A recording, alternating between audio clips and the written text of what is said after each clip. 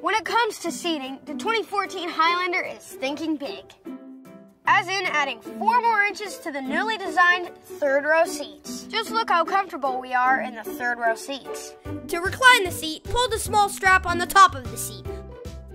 Adjust the angle you want, release the strap, and the seat locks in place. This gives the Highlander enough room to seat up to eight on the available LE, LE Plus, and XLE grade. And storage space behind the standard third row has increased a whopping 30%.